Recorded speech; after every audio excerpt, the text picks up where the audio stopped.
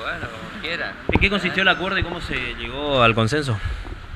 Bueno, como siempre, con el diálogo. No es, esto no es ninguna magia.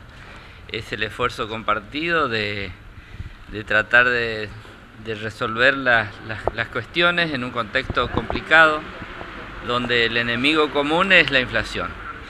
Pero hemos puesto mucho empeño de ambas partes.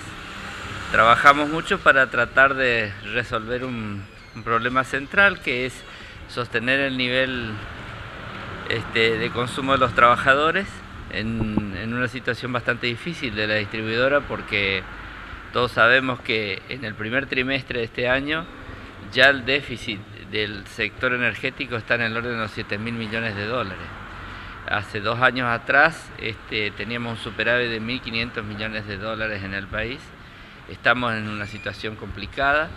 Eh, tuvo que ser asistida Edenor, Edesur, Edelab con fondos del Tesoro Nacional.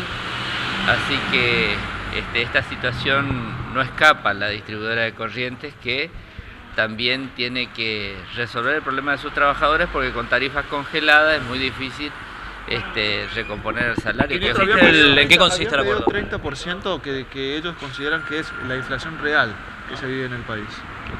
Bueno, mire, hay mucha discusión respecto de la inflación real o no, ¿no? Pero lo que es cierto es que es legítimo el planteo de la, de familia, de los trabajadores, frente a este embate que la inflación le genera y erosiona su salario. No podemos hacer simplificaciones de, de porcentajes porque la escala es muy variada este, trabajamos mucho para tratar de recuperar las escalas más postergadas.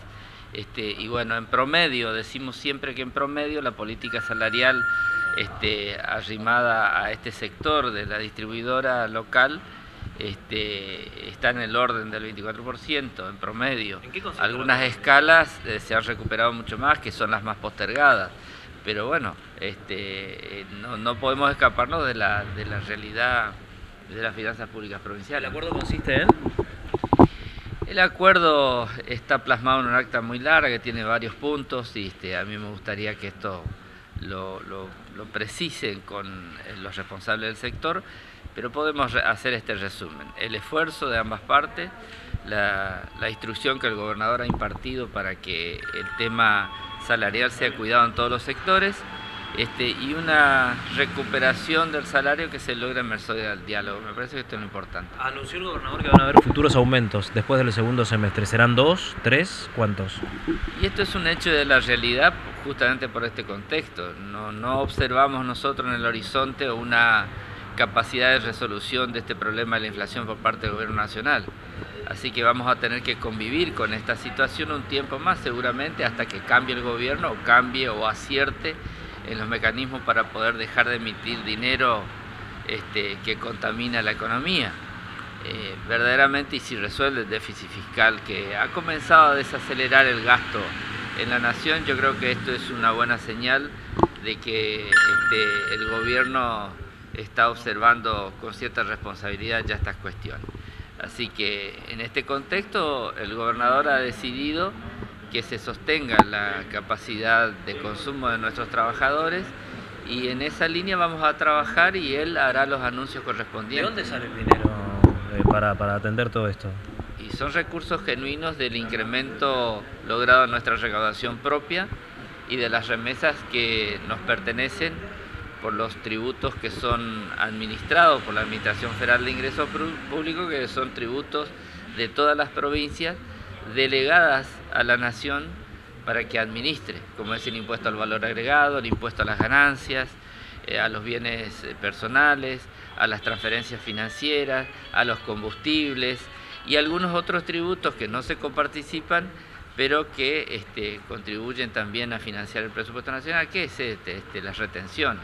¿Qué cantidad de trabajadores están en condiciones, qué cantidad de trabajadores están en condiciones de, de pasar a planta permanente en este proceso que viene haciendo el gobierno provincial? Yo diría que en condiciones están todos. Lo que pasa es que tenemos que hacer análisis sector por sector. Eh, lógicamente aquí lo que se tiene en cuenta es las necesidades de servicios en cada una de las áreas las capacidades de los agentes públicos, las capacitaciones logradas y también los, presupuestos de cada área y las posibilidades de ir avanzando en la optimización y en la mejora de la calidad este, de relación laboral con el Estado. ¿Por qué recién se toma la determinación de pasar a planta? Claro, claro. Ah, ¿Por qué se toma la determinación ahora? De Yo no, no es que me quiera ir, quiero escuchar bien. Eh, ¿Por qué se toma la determinación recién ahora de pasar a planta permanente, siendo que esto es un reclamo hace bastante tiempo de los sindicatos?